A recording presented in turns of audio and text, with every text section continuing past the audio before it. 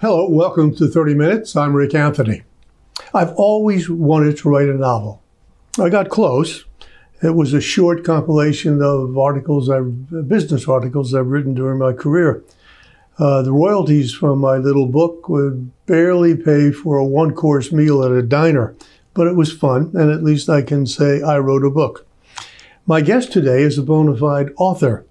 Uh, she has, in fact, written six mystery novels uh, and is uh, probably going to complete a series of 12, I'm sure. What distinguishes Barbara Clement is that the people and places in her novels all take are all from the main line, many of whom you'll recognize if you uh, if and when you read the book. Uh, the title of her sixth novel is Visions. I started reading it last night, and, and I was grabbed in the first few paragraphs. It's really quite good You'll enjoy reading it. Barbara, uh, nice to see you again. It's good to be back, Rick. Thanks. It's been a full eight years since we sat at this table when you had your fifth release. It has been. Uh, of course, a lot of it has occurred since that time, but it's really good to be back, and I am really happy to be introducing Visions.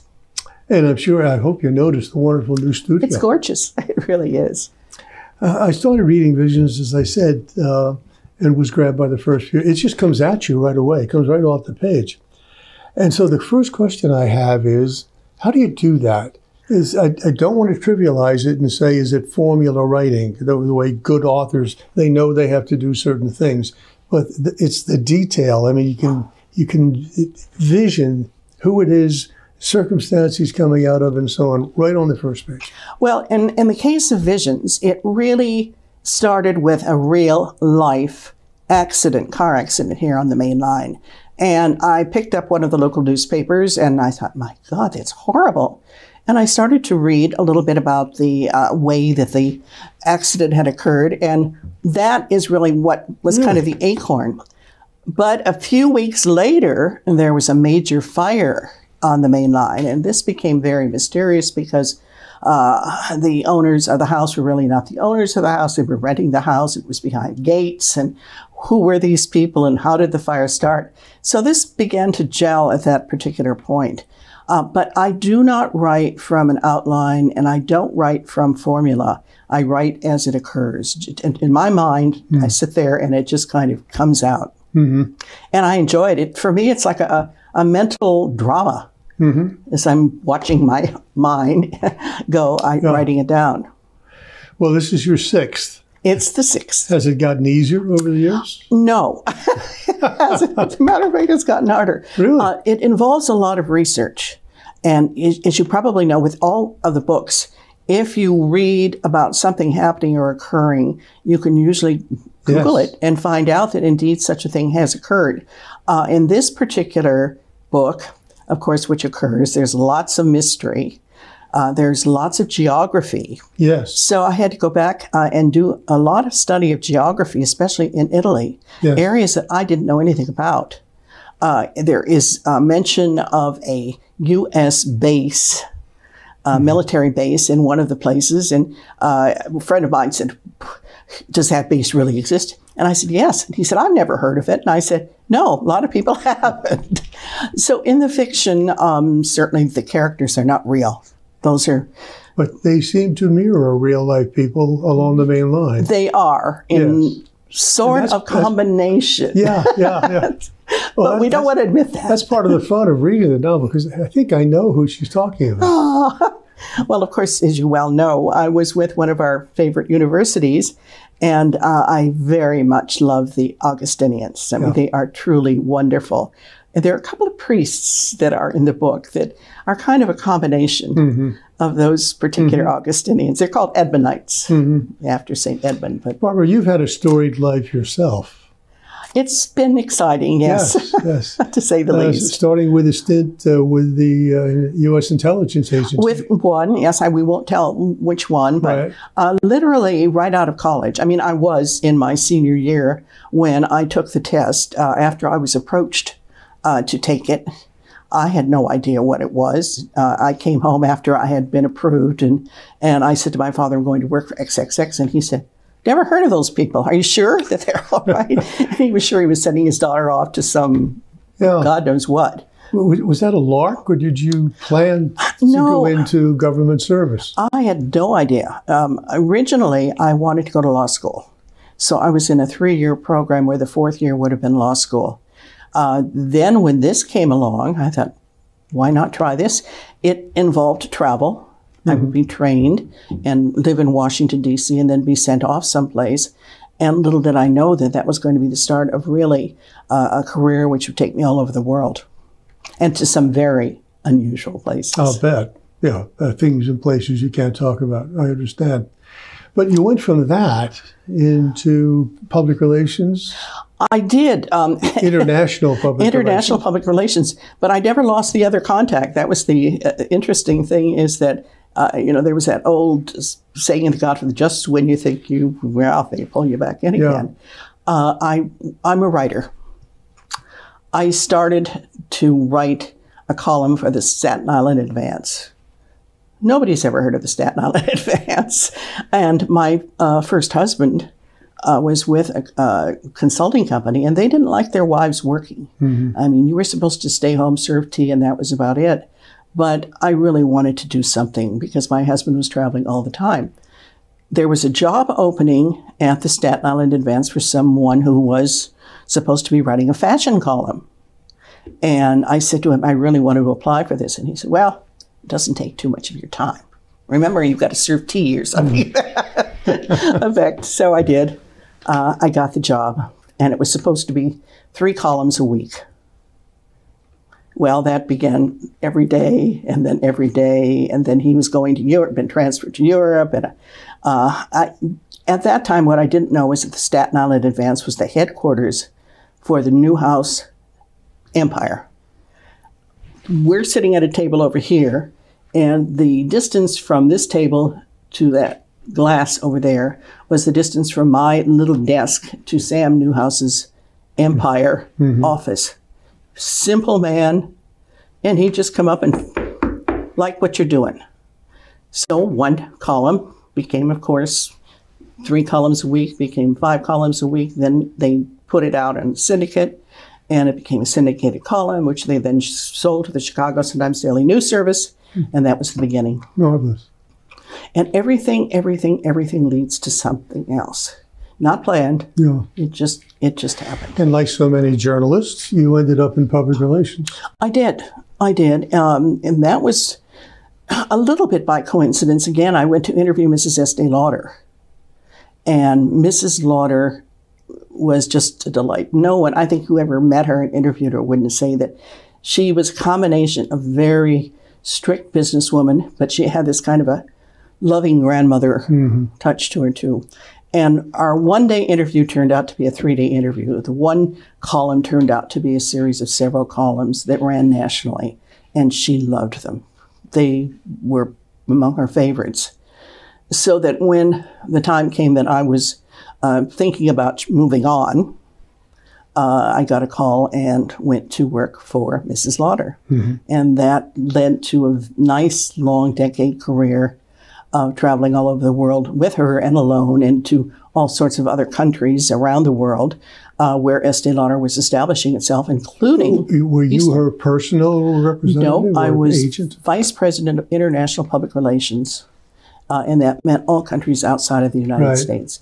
No, she was she was the head of the company, and uh, if she was traveling, however, Mm-hmm. and because I would know the press in those countries, she would be there, and then I would say we'd meet and say, "You've got four interviews today." Or, you know, you have an opportunity for six. Do you want to do? She'd say, I'll do two of those. And that's how we would work it out. Mm-hmm. And your marriage to Charlie, the, your Yes, late husband, my late brought you back to Philadelphia. Philadelphia, um, my father in law was ill. And we were making the run, as they used to call it, between Manhattan and the main line a couple times a week sometimes because his mm-hmm. heart was not good. And finally, my husband said, You know, I think we really Yeah. should do this. And we did. And that's when I went to work for Villanova, Villanova, yeah. which I was thrilled to do. Mm-hmm. And that was another decade. But when did you start writing novels? I started after I left Villanova.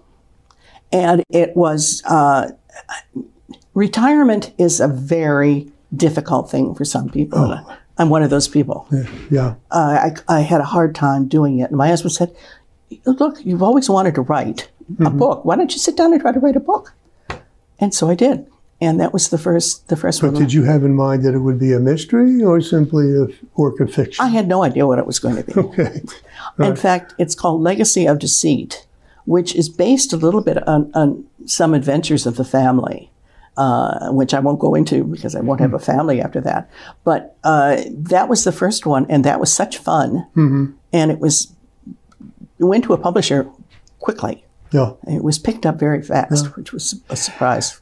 Barb, I've read that your philosophy of life is summed up in this phrase you bloom where you're planted. I believe that, Rick. Yeah. Ela- elaborate on that. How, Uh, well- how, how has that played out in your life?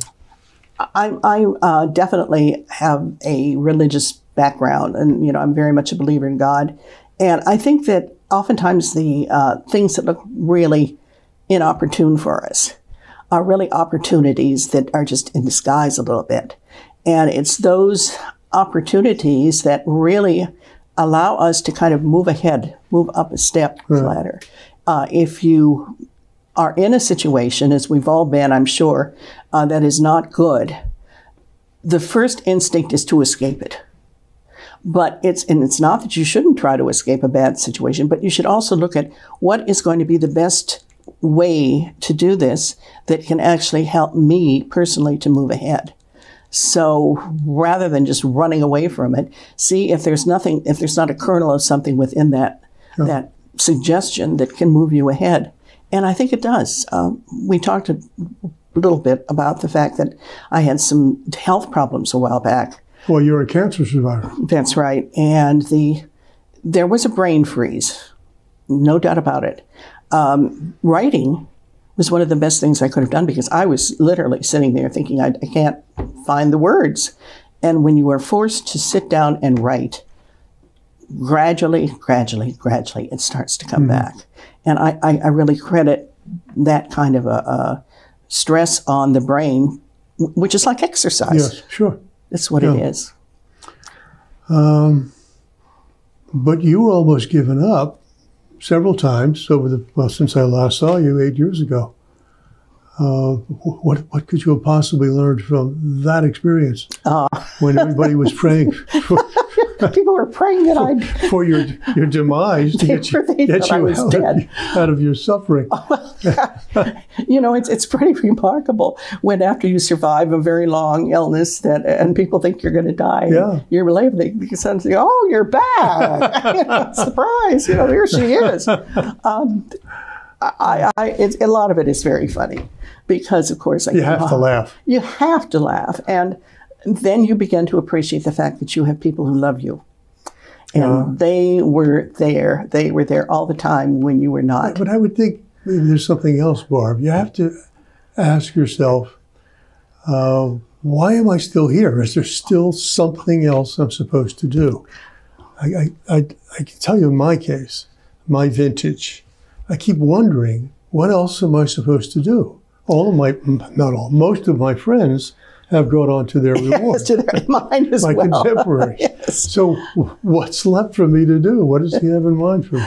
Well, I, I agree with you. I think that that is exactly what, and I, I oftentimes think the same things, and, and I do wonder. Um, uh, you know, I, I most of my family's gone. In fact, I would say all of them are gone, and thank God for my husband's family because they're they're as close to me as, as anyone could be. But I thought, think at times they had their doubts that I was going to come out of it. We're wondering who was going to take care of my cat. Uh, back to your writing. Uh, you introduced this character, this protagonist, Jessica Rollins, Yes. early on, and she has continued to play through each of your books. What, what do you have planned for her? Will she gonna go off a tell you. cliff at some point? No, with your last no, book? I can't. I, listen, she's she and I are the same, and you know, I kind of live through her. Uh, I'm of course already writing a seventh, as you can imagine, sure. and she's definitely in the seventh book. We're not we're not doing away with her yet. Um, I don't think she wants to be done away with. but she certainly is off on many adventures. And uh, interesting thing is that while in real life she might have been retired a long time ago, somehow they just keep bringing her back, and she keeps on having these incredible adventures. Yeah. And in Shadows, uh, of course, she you know was off into uh, Germany and in, in discovering all sorts of terrible things. In Visions, she is into the Vatican, and while movie stars might someday play her, believe me, they're not going to be playing a glamorous person waltzing around the halls of the Vatican. This poor woman is on her hands and knees working to scrub the floors in the Pope's private apartments. There are real groups. Um, I do name the groups, by the way, uh, in the Vatican who are assigned to this. These are women, not unlike nuns, who live. Their only purpose is to serve the, vat- the Yes. priests, and especially the Pope. And they are on their hands and knees. They are very strict, and many of the people there consider them kind of the uh, mistress rulers of the place because they will. You better do what they tell you to do, or you're not going to be. Even if you're a monsignor or a bishop, you're not going to be friends to them. You're out of it. But it, it was a good lesson in what really goes on behind closed doors there. Uh, I, I wondered about your interest, uh, almost fixation on the Vatican. Uh, well, what, what accounts for that? the vagaries of the Vatican. as you probably will remember, uh, Villanova University was the first, and as far as I know, the only university in the world that had Vatican interns. Uh, these were students who were selected to work in the Vatican Communications Office. And uh, you and I worked on this together. Barb, and that was my program. it was your program. I brought it to Villanova. That's right. yeah. And we did. And it Yeah. was, I'm always Still very proud going strong. Oh, Still it's, going strong. Well, we have two of my people that I'm very still keep in touch with, and I'm very Yeah. grateful. They have never forgotten their experience. Uh-huh. And Sister Judith, oh my, wonderful nun. She's was- retired, isn't she? Oh yes, a number of years ago. Yeah. But she was she was something. Yeah. She, She taught those kids. They learned. Yeah. Yeah. Um, okay, back to your interest in the Vatican. What, what accounts for that? Well, I, th- I think and, and how did you get into the inner circle so you understand the the intrigue in the Vatican, Vatican City? there was really a lot of research on that. I mean, I, I can only tell you that that took a lot of. Well, it's all- regrettably, a lot of it has been in the public press. That's exactly right. Um, when the our program uh, with the Vatican interns was still going on, I took a trip to the Vatican uh, to see what was happening there, and was able through one of our wonderful Augustinians to get a pass into the Scavi, which is the underground city uh, underneath St. Peter's Basilica Right. that is a fascinating, fascinating place to be. And for anyone who's uh, able to write to uh, uh, his or her bishop and get a pass to that, it's something to see. That part of the book is based on that. I did see where St. Peter's bones are, which is beneath the altar. I did walk on those paths, which are underground mausoleums where a lot Yes. of early Christians are buried, but also a lot of pagans. These were the people that were before the Christian era who are living or were living in the area and were buried in these mausoleums. So that part is all authentic. Uh, and a lot of the other part is just research, just sitting down and reading the books and looking at it. Do, do you always know how a story, your your stories, are going to end? No, I never do. You don't. The reason, Some authors, as you know, they start from the back and they write back to the beginning. but if you do that, what you're doing is allowing your readers to understand too, because readers are not s- stupid. They they listen to what you're writing, and they begin to form conclusions. So if you know that the end is over here, you have to be giving them little kernels of information along Right. the way. But there are times when it's more fun to be Sure. surprised. And I think But if you don't know how it's going to end, and this is a different question, I Yes. think, do you know when it's going to end? no, Okay. neither neither one. I mean, it just it just happens. Yeah. Uh, sometimes I I'm surprised myself and say, well, I didn't know that. How much rewriting do you do? Not a lot. Um, I, I will tell you that the book I'm writing now is very complicated, and because I feel I'm still not back to my uh, from my mental freeze, uh, I have a harder time coming up with words. Uh, the research is still there.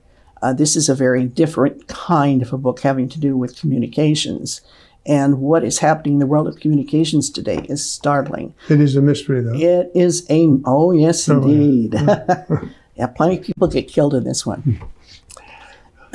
do books after even this is your sixth and i don't know how many manuscripts there were before you were first published but do books at a certain point novels particularly begin to write themselves They do. you sit and you just wait for the inspiration and you just it just channels through you That's exactly what, that's what it does.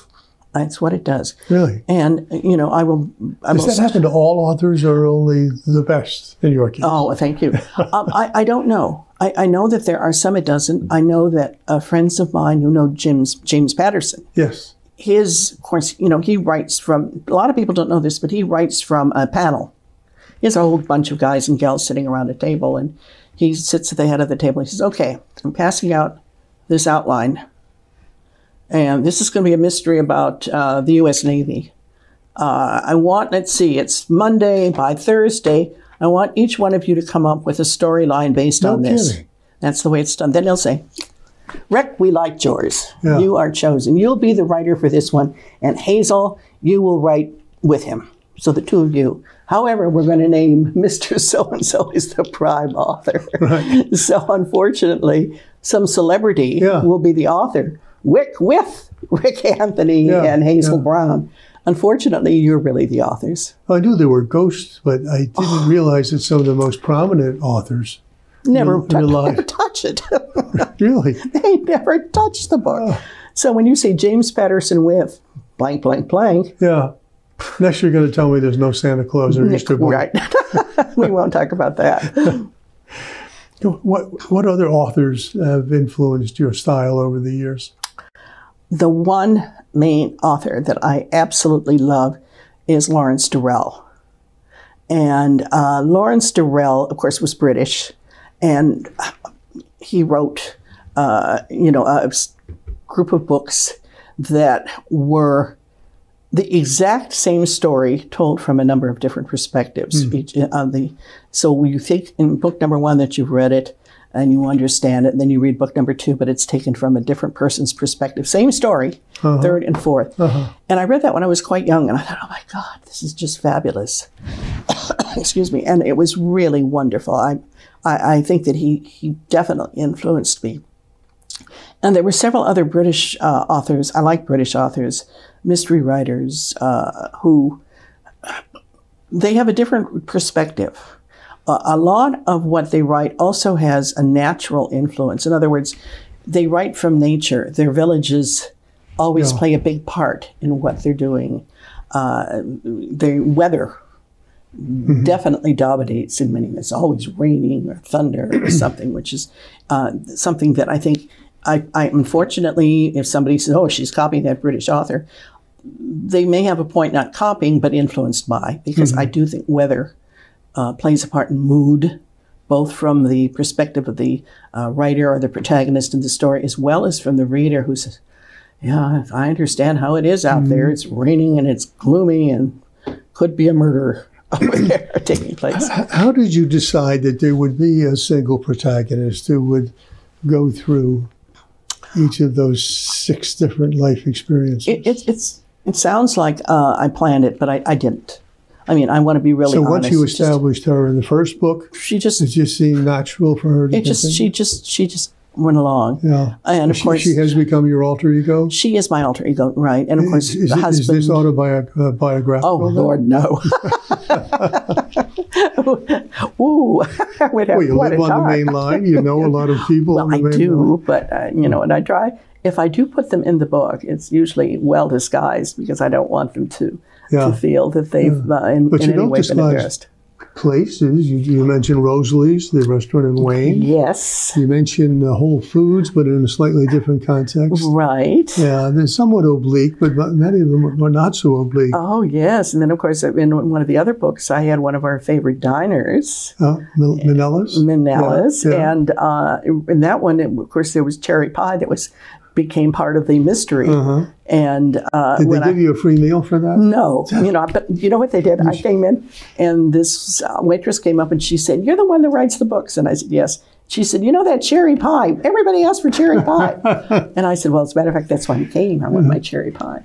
But uh, they are fun, Yeah. and they are real places. Barb, I, I teach a class of high school seniors. It's Mm-hmm. just it's fun to do. I teach a course in innovation and entrepreneurship.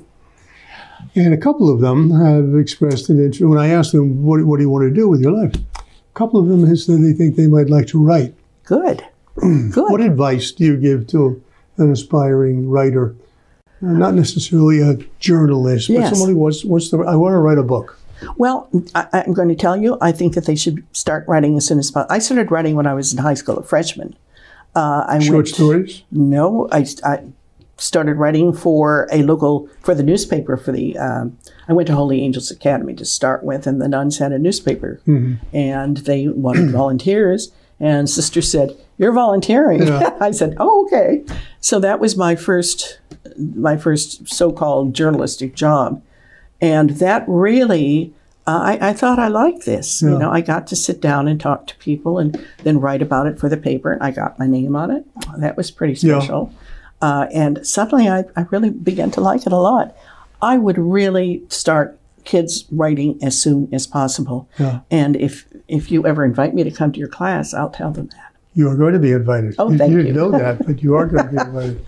I, I remember my first byline. I was writing for a weekly. And I think I was back in college or something. And I brought it home. And, and it, this is the honest to God truth. The story was I covered a, a township meeting. And, and you know how they can. Yes. And the, and the story was about a dog who bit a man. Really? Yeah, dog bites man headline. And my mother, she couldn't understand how I had a byline. How much did that cost? How'd you how'd you do that? oh, those were the good old days. Uh, your seventh book, which is already in the offing, is that an extension of, or you say it's, It's it's completely again. different? Well, it, it, it's a very uh, dramatic book. It's called Blood Bonds, and it's uh, written very personally. It's the difference, Rick, would be that in this book, in Visions, uh, Jessica is going out again to solve the world. What happens when the world comes to Jessica and she finds out that she is the center of the universe in terms of this mystery? Uh, that is a very provocative, internal uh, war because none of us like to think that we're the center of something that's evil and nasty and horrible, Yeah. especially when we've never had any reason to think that we were and have never done anything to cause it. And yet, that I think is the most, probably most intriguing way to kind of write this, whether it's going to be a mm-hmm. final book or not on in this particular series. Mm-hmm. I'm not going to give up writing, but if I finish the series with this one, you can believe me, it's going to go out with a bang. Mm-hmm. You know, she's she's not going to go out easily. Uh, Visions will be released, We hope very soon in time for Christmas. right, and will be available. on Amazon.com. Look for the new cover, which will be beautiful, bright red and gleaming. Uh, and we hope from some local bookstores. Uh, I really pray that they've survived the COVID because we love our local bookstores and want them to be survivals. Yeah, yeah. Uh, what else are you doing? in my spare time. Uh, well, in my spare time, I have been having a wonderful summer out in my garden and just enjoying the warm weather. And Uh, you've earned it. You had a tough patch there for a long time. it, it was, but it's it's new now. It's wonderful to have you back. Oh, Thank Rick, you. it's so good to see you and so good to have her talk. My guest today has been Barbara Clement, a celebrated mainline author whose latest book, Visions, will be available soon on Amazon and any other bookstore that Yes. still has their doors open. Until next time, this is 30 Minutes. I'm Rick Anthony. Take very good care of yourselves